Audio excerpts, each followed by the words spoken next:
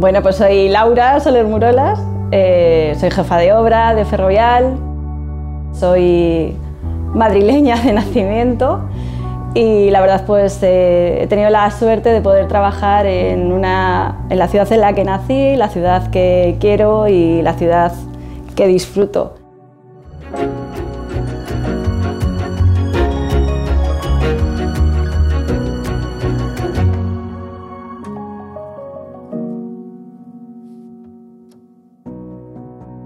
Cuando yo era pequeña me gustaban mucho las letras, me gustaban las ciencias.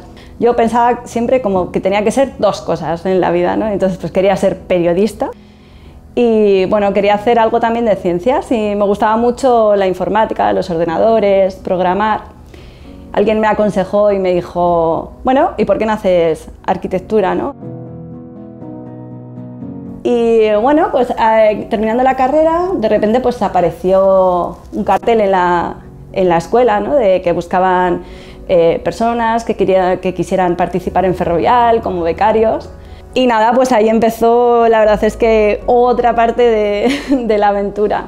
Un buen día me, estaba en un curso y me llamó el jefe de grupo y me dijo, oye Laura, que hay un edificio de oficinas que estamos empezando y tal y no encontramos jefe de obra el jefe de producción tampoco tiene mucha experiencia, entonces que, que, si, que te vayas para allá este par de semanas hasta que veamos a ver cómo se soluciona la cosa. Y así se solucionó, pues que me hicieron jefa de obra. Claro, luego me di cuenta cuando llegué a la obra que tardaron tres meses en encontrar unas botas de seguridad de mi número y me acuerdo que vino el dueño de la, el dueño de la ferretería, vino con dos pares, por si acaso se me rompían las primeras, porque le había costado como tres meses, tres meses encontrarla. Creo que poco a poco se han ido rompiendo eh, esas barreras. Pues si queréis vamos para allá porque vamos a ver a María que tenemos una muestra del ladrillo.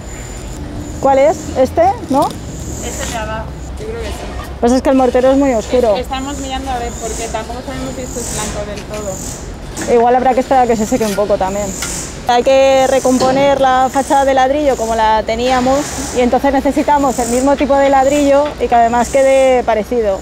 hemos hecho dos muestras con dos tipos de ladrillo que hemos encontrado para ver cuál es la que, la que se parece más al original. Eh, todos los que estamos aquí, yo soy la jefa de obra, pues bueno, soy un poco la, a lo mejor la culpable de todo, como digo, como digo yo, pero en realidad yo no hago nada si no tengo un equipo de personas que, saben mover cada, cada parte o cada parte de la cadena y conectarla y que todo esto funcione. Pues aquí lo que había fundamentalmente era un problema con el terreno, un problema de cimentación y se están haciendo actuaciones para, para reforzar esa cimentación, haciendo con un micropilotaje y actuaciones en cuanto a consolidación de la estructura y asegurar el edificio.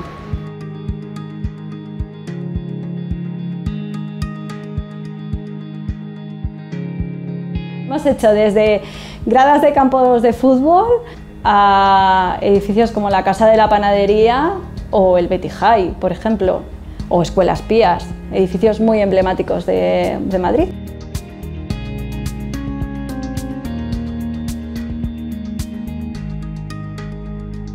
Pues justo ahí en esa calle que sube Marcelo Usera, yo he vivido desde que era pequeña. He cruzado este puente cientos de veces ¿no? y he visto cómo Matadero poco a poco pues, ha ido resurgiendo y tenemos toda esta infraestructura, Madrid-Río, que es maravillosa, pero quedaba como este edificio al final, el mercado de Legazpi, que lo he visto desde pequeña. Al final, poder intervenir en edificios que tienen mucho que ver con mi vida, que, que los he conocido desde pequeña, pues es algo, es algo muy importante para mí.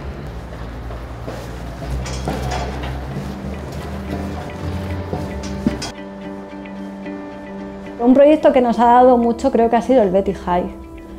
El Frontón Betty High es un edificio que forma parte de nuestro patrimonio histórico en Madrid y que llevaba casi 100 años abandonado. Entonces, entrar ahí, ver aquella selva y poder ir ahora y ver el frontón como ha vuelto otra vez a renacer, pues es una gran satisfacción.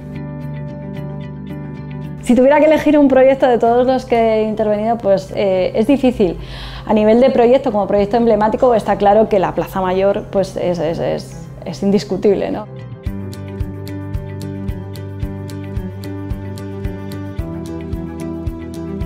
Yo desde muy pequeña he vivido muy cerca del centro de Madrid, entonces cuando era Navidad íbamos a la Plaza Mayor a buscar el árbol, para mí era un día muy especial porque dábamos vueltas y vueltas alrededor de la Plaza Mayor buscando el árbol, el que fuera el mejor. Entonces, claro, verte arreglando la Plaza Mayor y que la Plaza Mayor al final forme aún más parte de tu historia, no solo de tu historia personal, sino también de tu historia profesional, o sea, la sensación es indescriptible, ¿no?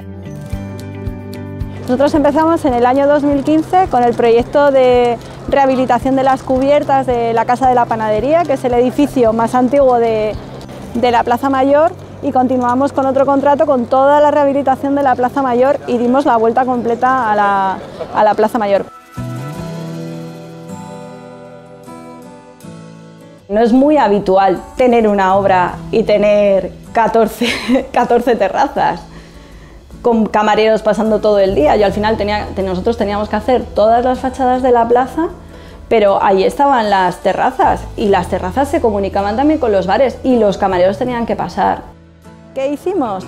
Pues primero dejar pasos en el andamio, que es evidente que eran, que eran necesarios para que no alterásemos la circulación de la plaza, y por otro lado, pues esas zonas en las que nosotros guardábamos el material, eh, hacíamos como reductos en los que se permitía durante casi todo el día, se permitía el paso de los camareros una vez recolocadas las terrazas en coordinación con, con, los hosteleros que colaboraron mucho con nosotros y cuando teníamos que pasar de un lado a otro con la maquinaria, esas puertas se abrían de un lado y de otro de tal manera que impedía el paso de las personas para garantizar la seguridad, pero por otro lado también era necesario seguir manteniendo la vida de la plaza.